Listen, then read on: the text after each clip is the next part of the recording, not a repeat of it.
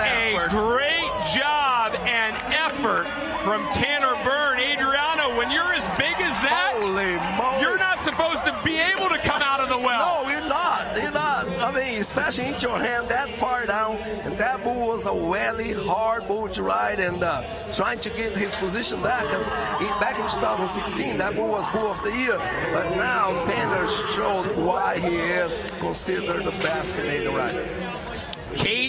Got to visit with a lot of the Canadians yesterday and earlier today. They all told her they took it personally when the U.S. came into Canada and beat them last November. They're looking for payback.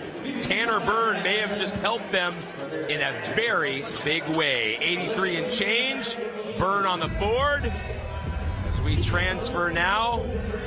Well, we're going to get another look man, that bull was hard. He was hopping, skipping, you know, tried to drag him inside that spin, and he actually did it right there, and he got back. I mean, awesome effort and awesome ride.